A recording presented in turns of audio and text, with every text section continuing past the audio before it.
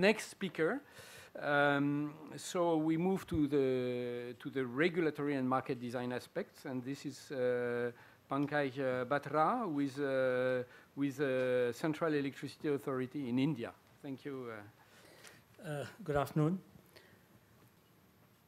I think uh, whenever some new sort of system evolves, like people's participation in in generation and grid operation, it always starts with policy and then regulation. And uh, uh th that's the same thing that the, the, way it functions around the world, I think. Uh, so I'll talk about the regulatory challenges which are there uh, and how India has dealt with them.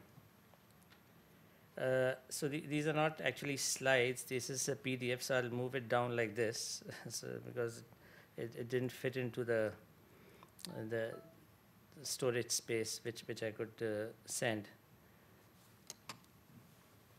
So you, you can see that uh, the, what are distributed energy sources? What we are talking about is distributed variable RE sources, but uh, what, I, what I'll start with is what are distributed energy sources are energy sources which are standalone, which, which could be microgrids, uh, or connected to the grid at the distribution level. So it could be grid connected microgrids uh, or or uh, standard or uh, rooftop solar PV, things like this, but they could be standalone also. Uh, these encompass many uh, resource technology types and technologies which may be located in front of the meter as well as behind the meter. So all the rooftop solar PVs are, which people install in residences are normally located behind the meter. Whereas you can have these located in front of the meter, which are which are probably the ones which communities put up, uh, or uh, the large uh, plants, I mean larger plants. and the advantage is they're located at the point of consumption. So if there's, if, if so it eliminates a lot of inefficiencies of, of transmission and distribution, as well as saves on cost of transmission and distribution infrastructure. I think these are, this is common knowledge. That's why we are all going into this.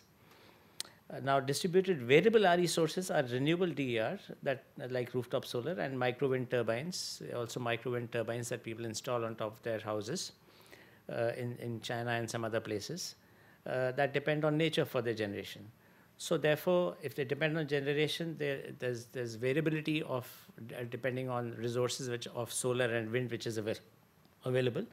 Uh, and to counteract this variability, man has made variable or flexible distributed storage devices, and facilitated flexible demand. Uh, so this is just uh, a, a, rooftop solar PV, which we are showing, and a microgrid in an Indian village, which is standalone. Now, what are the challenges of distributed variable RE sources? Uh, most wind and utility scale solar plants connect to the grid at the high voltage level, uh, which is equipped with the protection, control, and communication technology to support intermittent two-way power flows that can help operators manage their variability.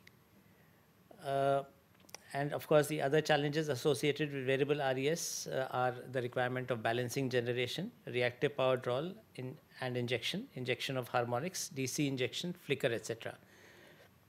Now, this is for large scale power plants as well as uh, the second point is is for uh, the requirement of balancing generation is for rooftop solar PV and distributed generation also if they are RE uh, sources.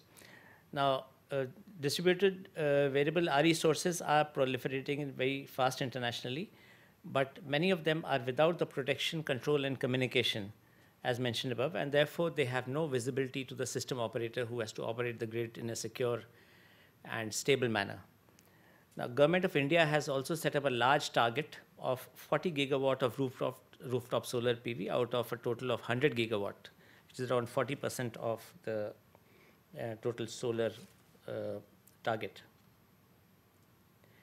Now, if you see this, this is the Indian duck curve, which is, uh, you'd be knowing about the California duck curve. This is the Indian duck curve, which is we plotted uh, for the year 2022 when we expect this 175,000 uh, uh, megawatt of uh, renewable energy, which includes the 100,000 uh, megawatts or, or 100 gigawatts of solar, uh, Uh, which in, uh, under which that 40 gigawatt of rooftop solar PV comes.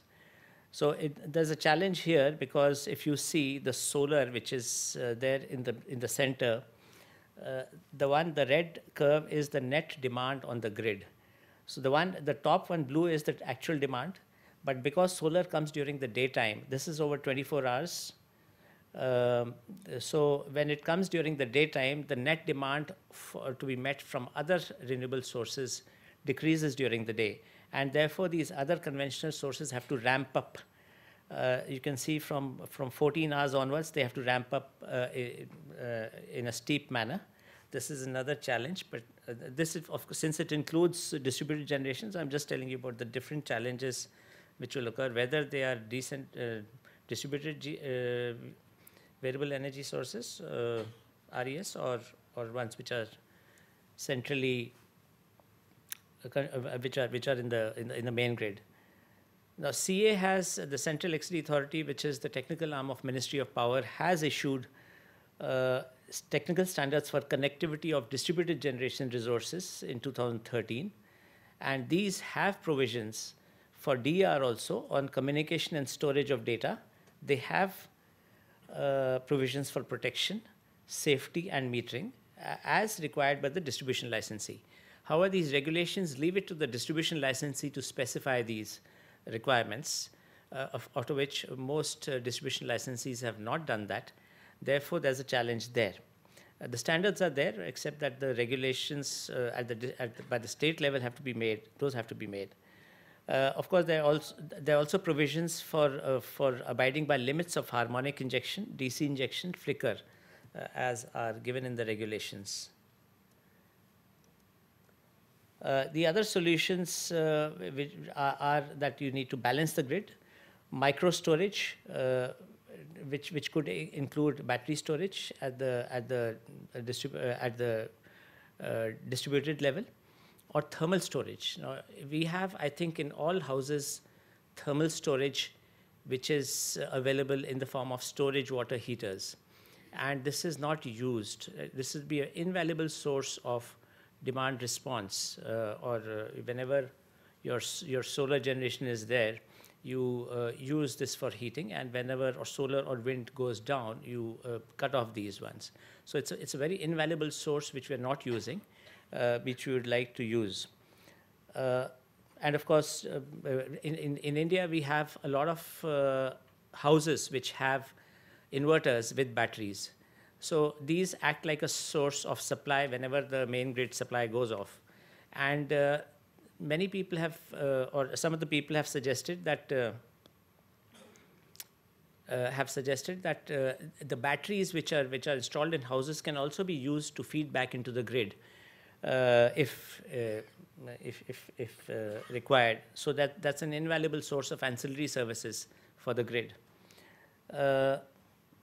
but and of course forecasting is yeah, how, how we can facilitate all this, uh, the, uh, these uh, sources to be used are by regulations having a tariff for, for uh, uh, interruptible supply and a lower tariff for interruptible supply and a higher tariff for reliable supply. So, or you can have even one smart meter which has got two points, half of which gives you reliable supply. I mean, one point gives you reliable supply, another gives you interruptible supply, and with different tariffs. So it's for the customer to choose if he if he thinks that something is not very important, he'll connect it to the interruptible supply, and if he thinks uh, something is reliably required, he could connect it to the reliable supply. So reliable supply, uh, for example, uh, could be lights and fans and refrigerator in some cases, whereas interruptible supply could be uh, uh, connecting the geyser and, and uh, washing machine and things like that, which, which, which, which, you, which could start and whenever uh, the supply comes. Uh, so just by enabling these regulations to be there, th this can happen.